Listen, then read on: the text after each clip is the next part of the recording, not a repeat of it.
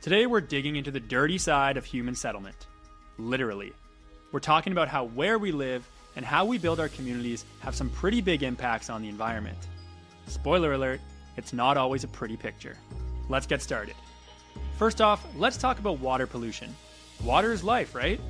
But when humans settle down, we often bring along things that mess up our water sources. Take industry, for example.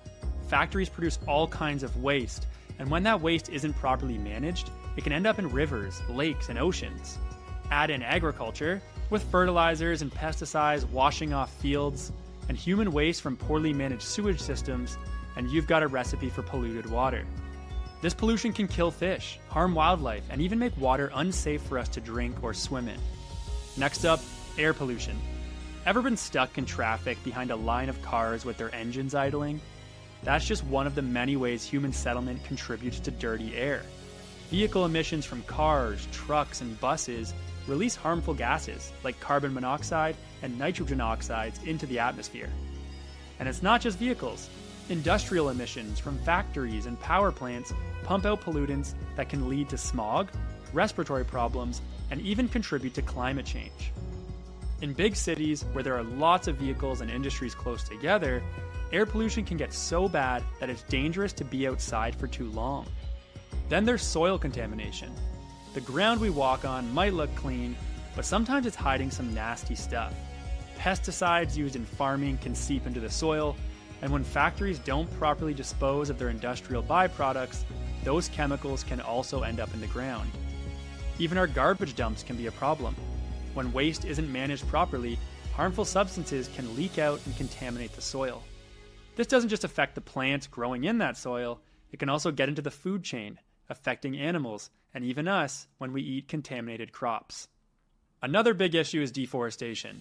As human settlements expand, especially in places like rainforests, we often clear large areas of trees to make room for homes, farms, and roads.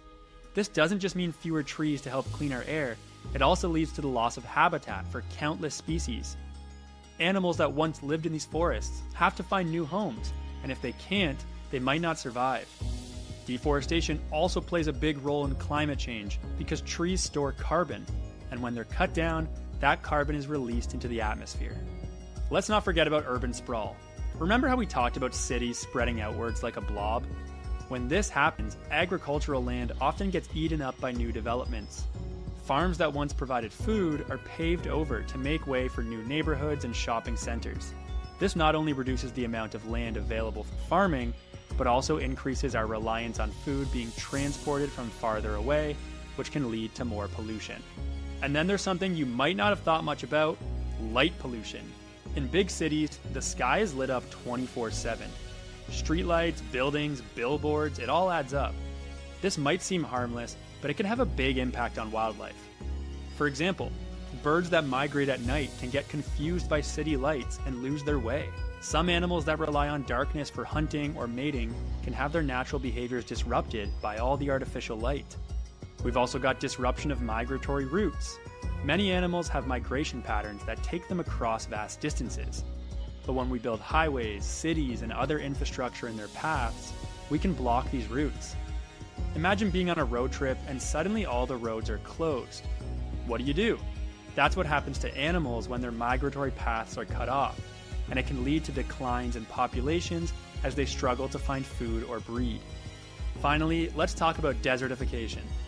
This is when fertile land becomes a desert, and it's often caused by unsustainable agricultural practices. Overfarming, overgrazing, and deforestation can strip the soil of nutrients, making it impossible for plants to grow.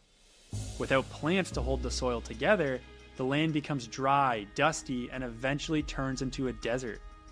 This is a huge problem in places like the Sahel region in Africa, where land that once supported farming is turning into barren desert, pushing people to migrate in search of better conditions.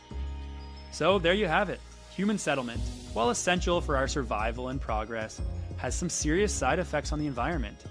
From water and air pollution to deforestation, soil contamination, and more, our actions have a ripple effect that can harm the planet in ways we might not even see at first glance. But by understanding these impacts, we can start to make better choices and find ways to live that are more in harmony with the world around us. That's it for today's geography lesson. Keep thinking about how we fit into the big picture and what we can do to protect our planet.